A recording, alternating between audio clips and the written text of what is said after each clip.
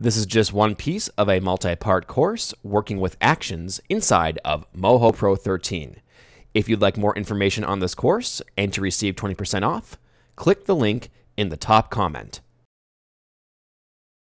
One other thing I want to point out with organizing your actions is you can now create folders, which makes the process even easier.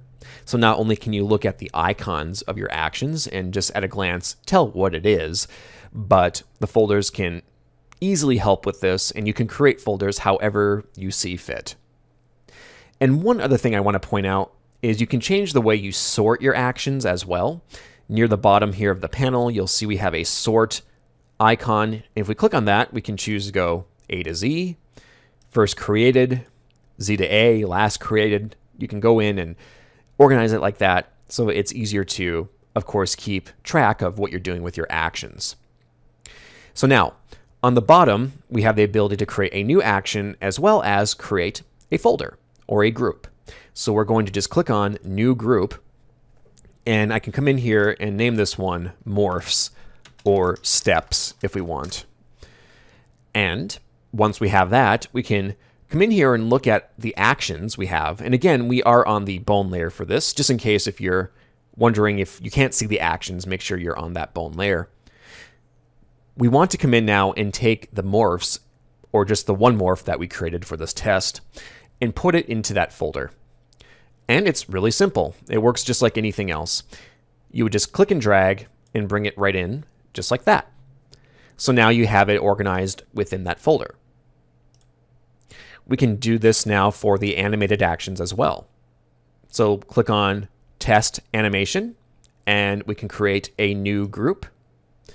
I can name this one Actions, or Regular Actions, I think is how this is referred to as, or we could put in parentheses animated, hit enter, and then grab that test animation, click and drag, and then bring it into that folder.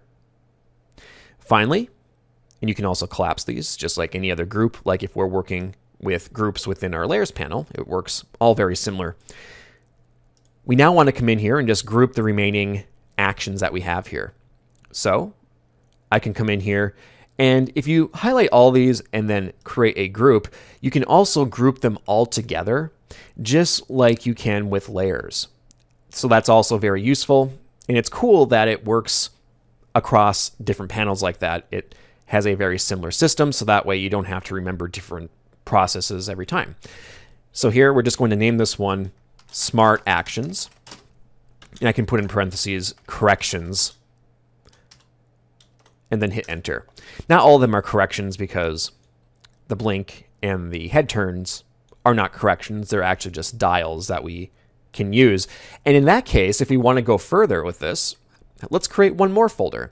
We don't necessarily have to go just based on the three main types. We can do one more, and we could name this one, let's say, action dials.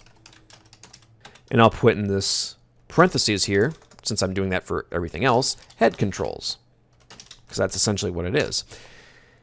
Come over here to the smart actions, and I can just break this apart really quick. And again, to make this easier, you can take the select bone tool, B on the keyboard, and then just click on blink as an example, and you'll see that it highlights it right there. And that's one of these smart actions that we were talking about, these action dials.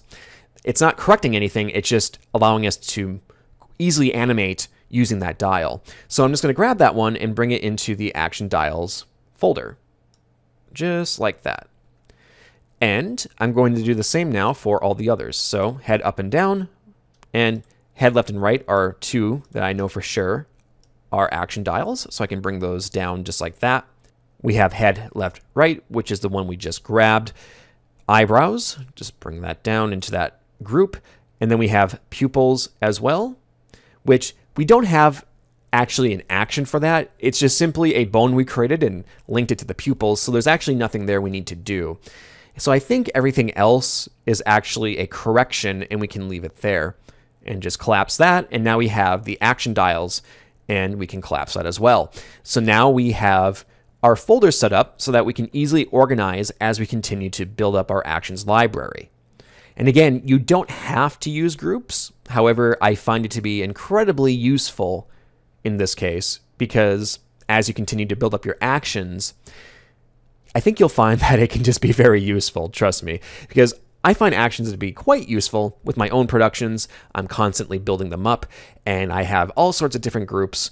Otherwise, I would get pretty confused. So, there you go, groups for your actions. We'll pause here, and up next, take a look at this rig before we dive in and start building up more actions for this course. And there's definitely more to learn with this course. We go through, build up an actions library. We talk about the different action types. We talk about what actions are more appropriate for others. We even build an optional actions dial if you wish to go that route. So there's a lot to cover in this two and a half hour course. Please click the link in the top comment to check it out and receive 20% off.